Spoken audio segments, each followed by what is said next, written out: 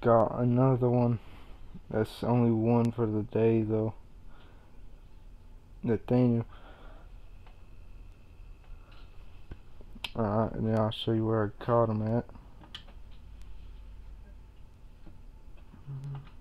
I actually caught him free fishing.